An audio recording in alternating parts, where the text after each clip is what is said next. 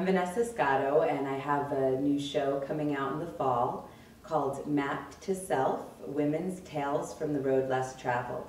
The show is about how a lot of women um, lose their way in life.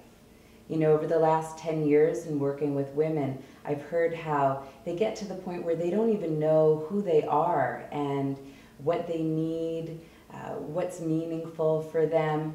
And really, it's a journey to get back to the self that you were. Their core self's gotten lost amidst the chaos of work and family life, relationships.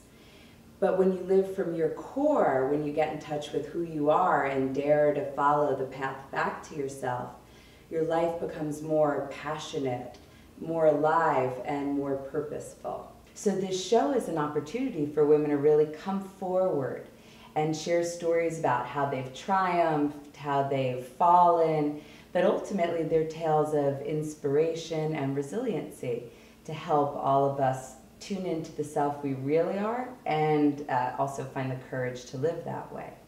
And my hope is that by sharing all of these wonderful women's narratives and all of my personal experience, that each of us can become more alive become more empowered and live a life that's more meaningful to each of us in whatever way that is.